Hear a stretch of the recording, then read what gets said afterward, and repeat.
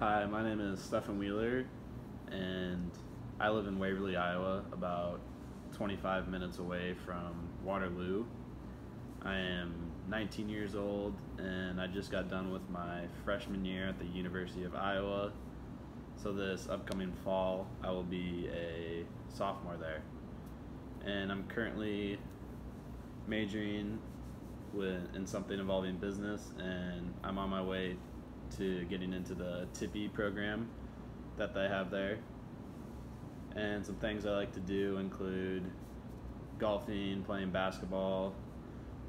Um, I enjoy fishing. I love watching sports like football, basketball, and baseball, and all that.